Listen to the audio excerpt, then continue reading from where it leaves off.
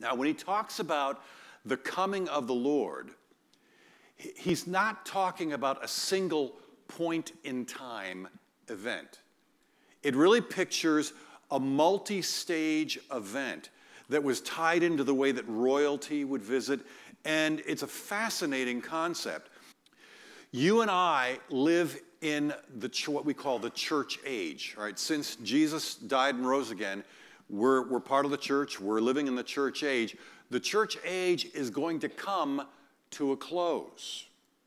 And it's going to come to a close when Jesus comes in this event that we'll talk about in a few minutes called the rapture, when Jesus comes, comes for his church.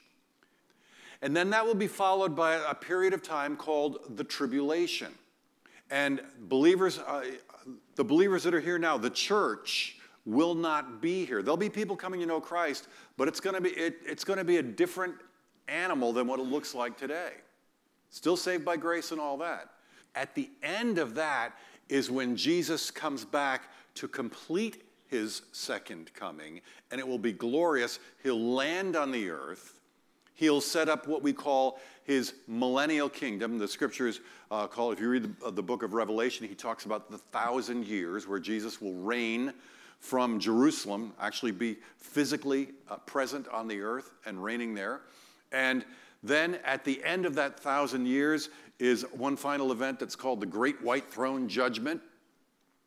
And uh, things will really change. The way we experience time will even change. We'll, we'll go into what is called the eternal state. But now let's process this big idea in light of the people who have died because now we need to talk about the resurrection of the dead. And Paul, of course, talks about it in this passage in 1 Thessalonians 4 that we just read before. So you're going to have, when you die, if you were to die today, for example, as a believer, right, you'll have some kind of transitional form. Even if you're an unbeliever, you'll have a transitional form that you exist in.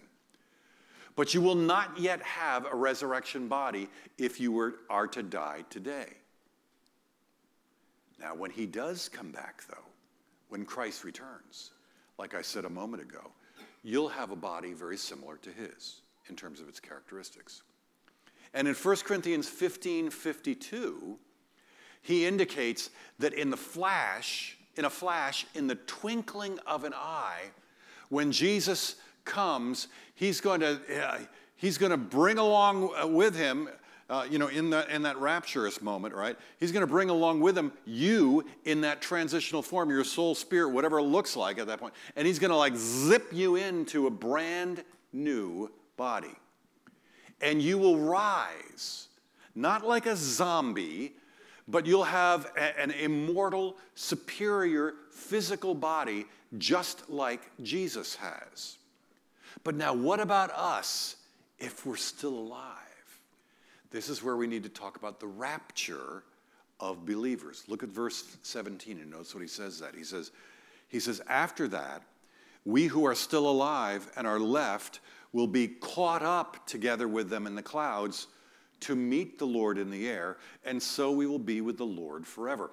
That term, caught up, is from the, Greek word in, in the New Testament, harpazo and it refers to a sudden snatching away.